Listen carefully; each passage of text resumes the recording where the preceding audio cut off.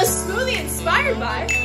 Let's do it. I didn't know how to make it blue, so I went to Whole Foods and found some blue spirulina and a few other fun ingredients. Let's do it. Vanilla coconut milk. Vanilla bean cashew yogurt. A little bit of pineapple by my side. Dos bananas. And the magical ingredient, spirulina. Ah, nice. Put the lime in the coconut.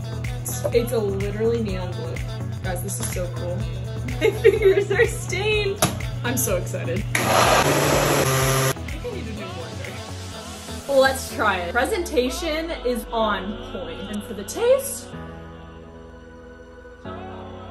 that is the best smoothie I've ever made. It gets a 10, hands down 10. We have a 10, Can we go above 10. This gets like a 15. If you don't make this drink, you are doing yourself a disservice. What should I do next?